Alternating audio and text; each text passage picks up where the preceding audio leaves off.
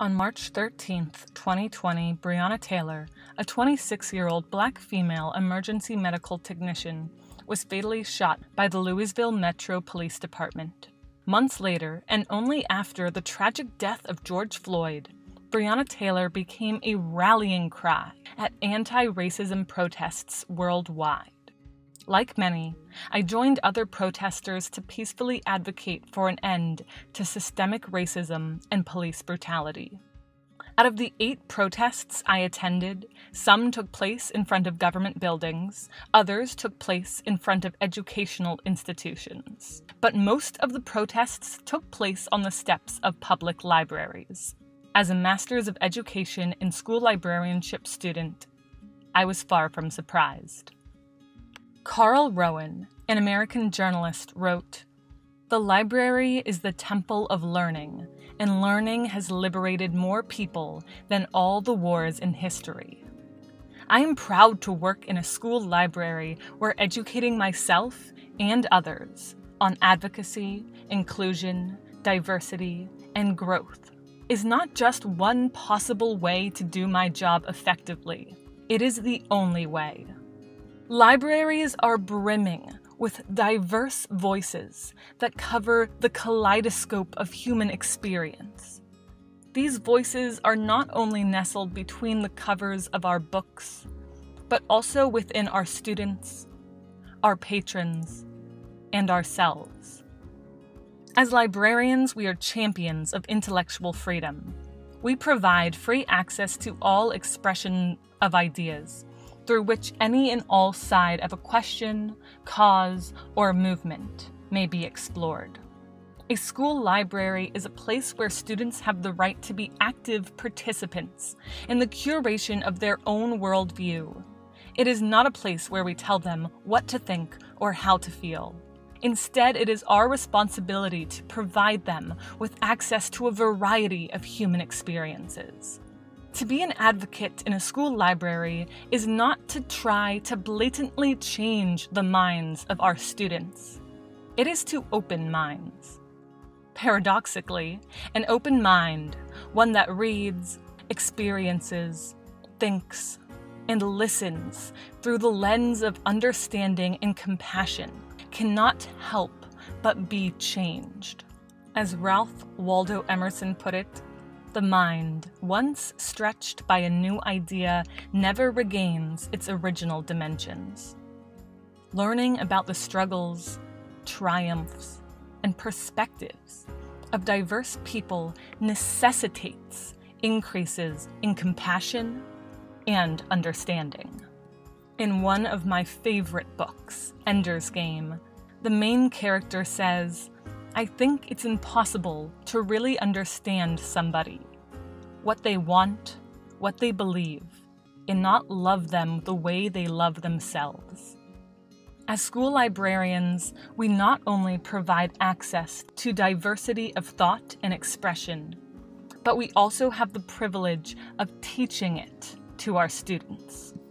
There is an old adage that goes, you can't understand someone until you've walked a mile in their shoes. In effect, this saying is a reminder to practice empathy. As librarians, we are the curators and custodians of libraries full of books, where all a patron need do is flip open the front cover of any of our books to glean another perspective, to stretch the mind. As school librarians, we have the privilege of working in a place where all are welcome. Not just all people, but all thoughts and all ideas as well. When there are restrictions and when we encounter censorship, it is our job to publicly speak out against it.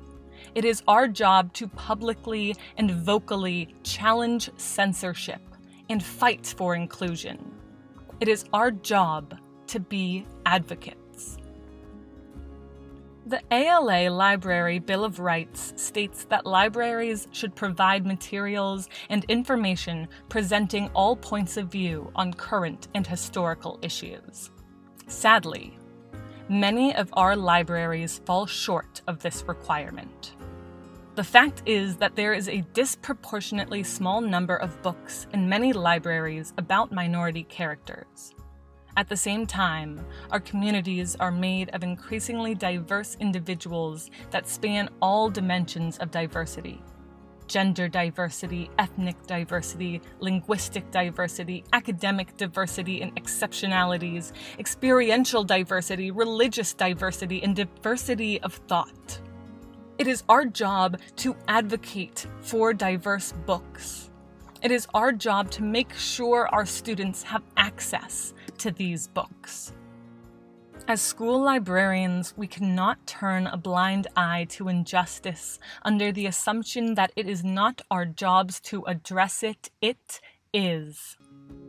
We cannot pretend that the world's problems do not penetrate the walls of our libraries. They do.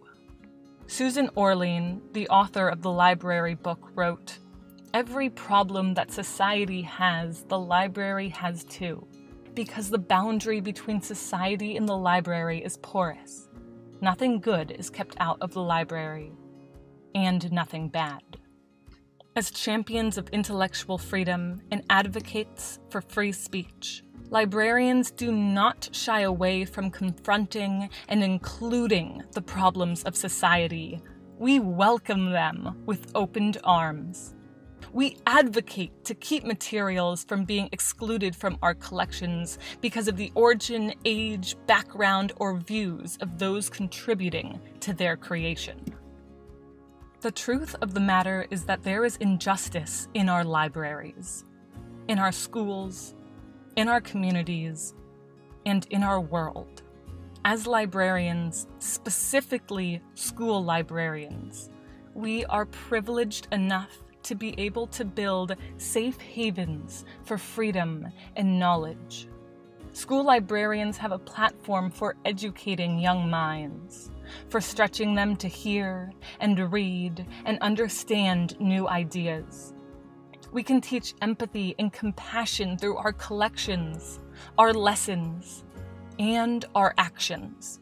We have a platform to help shape the minds of future generations. This is a gift. Please do not waste it.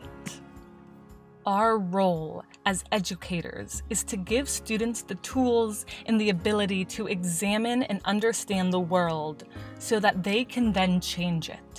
We must diversify our collections and teach inclusion, compassion, and perspective taking. Teaching diversity, being an advocate, it is not a suggestion, but a necessity. In his essay, A Talk to Teachers, James Baldwin wrote The paradox of education is precisely this that as one begins to become conscious, one begins to examine the society in which he is being educated. Our education system exists to teach students about the world so they can go out and change it. Education as advocacy is a powerful and important catalyst for inspiring change. Society should be endlessly iterative. There is no reason we should be content with where we are. We should constantly be striving for improvement. Change is inevitable. As leaders in our schools, we must be advocates for everyone the unheard, the downtrodden, the misunderstood.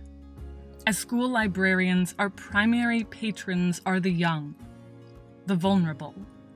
And our libraries are spaces where all are welcome, where all must feel welcome where we must publicly welcome everyone. With our collections, with our lessons, with our words, and with our actions, we must make sure all our students know you are welcome here. There is space for you on our shelves, in our classrooms, and in our hearts. And if someone tries to silence you, if someone tries to take your voice and your perspective off our shelves, if someone tries to make you feel unwelcome, we will be advocates for you.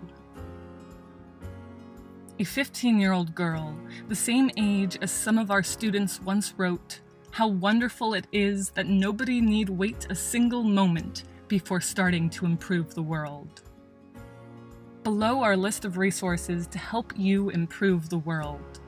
I implore you to read them, watch them, learn from them, and most of all, use them to educate and advocate for others.